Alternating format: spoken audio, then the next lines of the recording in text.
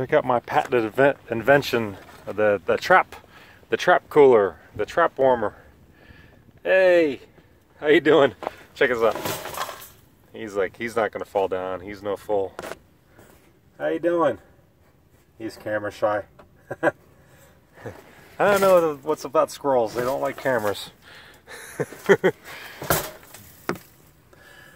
don't shoot your finger.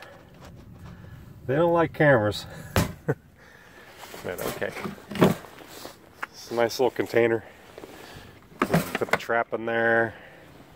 It'll stay nice and warm. When it rains, like it won't get wet. There won't wind won't hit it. And even the sub temperatures in the teens, it'll survive.